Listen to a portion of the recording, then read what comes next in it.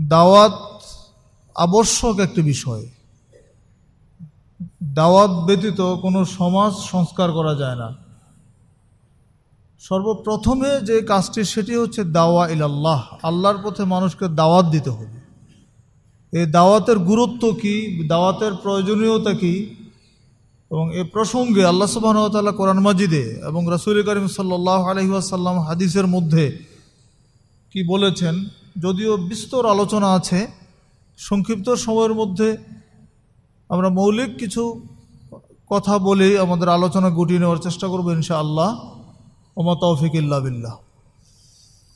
যে আয়াতে কারিমা তেলাওয়াত করেছি, সুরা তওবার একাত্তর নম্বর আয়াত, এই আয়াতের মধ্যে মোমেন, নারী, পুরুষদের কয়েকটা গুণ আল্লাহ সুবাহ তারা উল্লেখ করেছেন।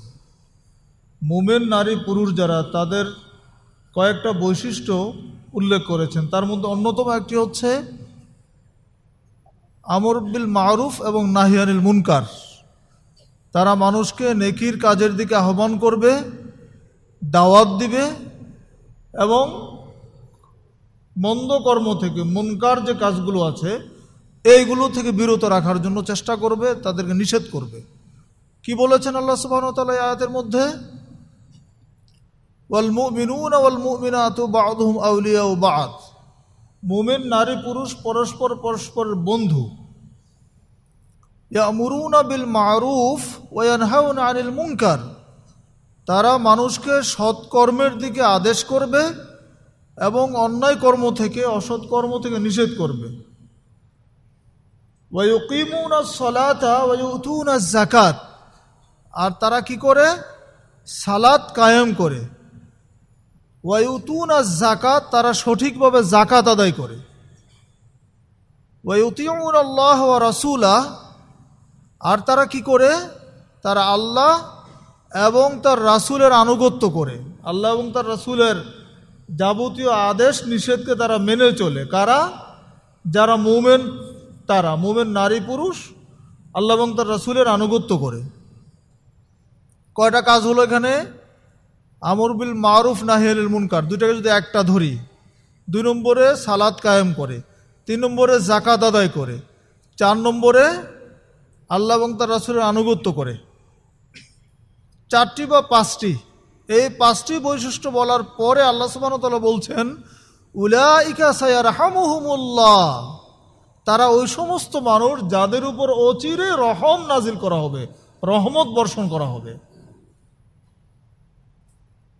আল্লাহ আজিজুন হাকিম, আল্লাহ রবুল আলমিন মহাপরাক্রান্ত এবং বিজ্ঞানময়।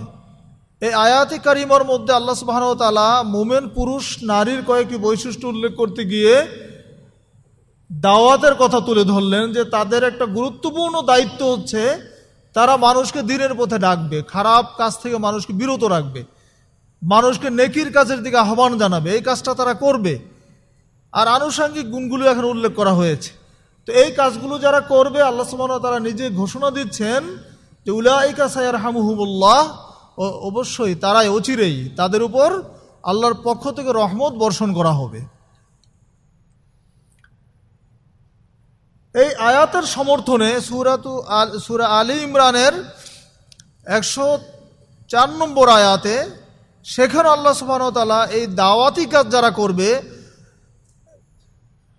তাদের সম্পর্কে তিনি স্পষ্ট করে বলে দিয়েছেন বা উলা ইকাহুমুল মুফলিহুন তারা হচ্ছে সফল কাম। আয়াত আমরা সকলেই জানি, ওয়াল তাকুম মিনকুম উম্মাতু ইয়াদউনা ইলাল খাইর ওয়া ইয়ামুরুনা বিল মারুফ ওয়া ইয়ানহাউনা আনিল মুনকার ওয়া উলাইকা হুমুল মুফলিহুন তোমাদের মধ্যে একটা দল থাকবে যারা মানুষকে কল্যাণের দিকে ডাকবে, অকল্যাণের দিকে নয়, কল্যাণের দিকে ডাকবে, নেকির দিকে ডাকবে। ইয়ামুরুনা বিল মারুফ, যারা সৎ কাজের আদেশ দিবে এবং অন্যায় অসৎকর্ম থেকে নিষেধ করবে।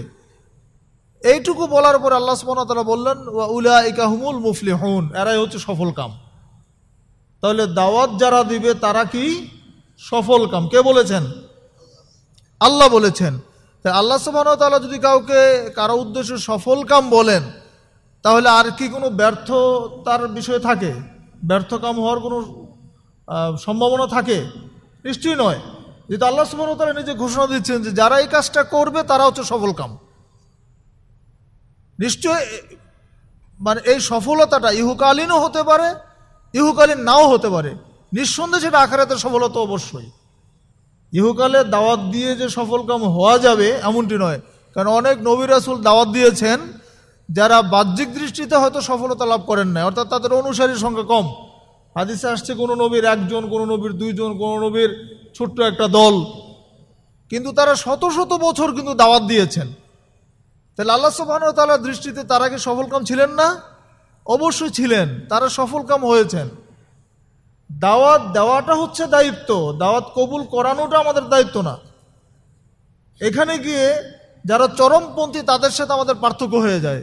কারণ চরমপন্থীরা তারা দাওয়াতটাকে কবুল করানোটাকেই তাদের দায়িত্ব মনে করে যে এটা কবুল করাতেই হবে। তোমাকে এটা মানতেই হবে, না মানলে তোমাকে মেরে ফেলব।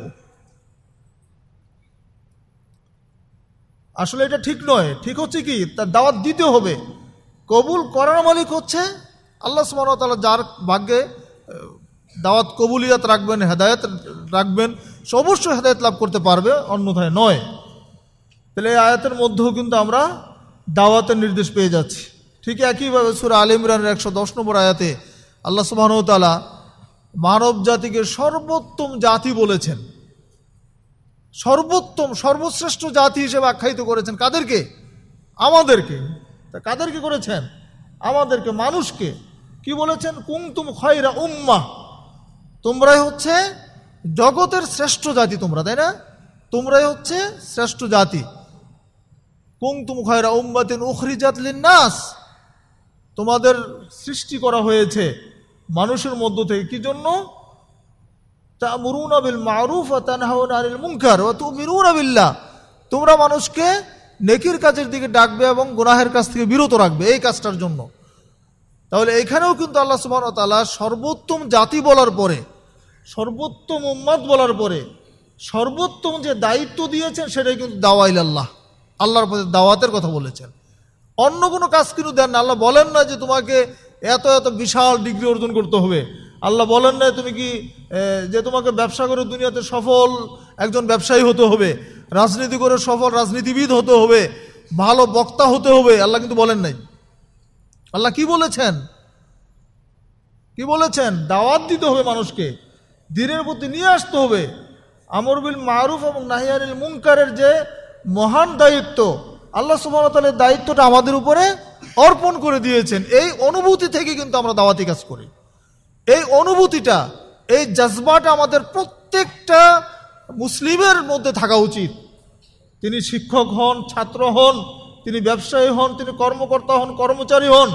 যেখানে যে অবস্থায় থাকেন না কেন, এই দাওয়াতি একটা জজবা, দাওয়াতি একটা দায়িত্বানুভূতি আমাদের মধ্যে জাগ্রত হতে হবে। কারণ রসুল করিম সাল্লাহ সাল্লাম বলে দিয়েছেন, বাল্লিগু আন্নি ওয়ালা আয়া আমার পক্ষ থেকে একটি আয়াত যদি জানো, সেটা তুমি জানিয়ে দাও, সেটা পৌঁছে দাও, অন্যের কাছে দাওয়াত তুমি পৌঁছে দাও। এই পৌঁছে দেওয়ার দায়িত্ব আল্লাহ সুবাহতালা আমাদেরকে দিয়েছেন।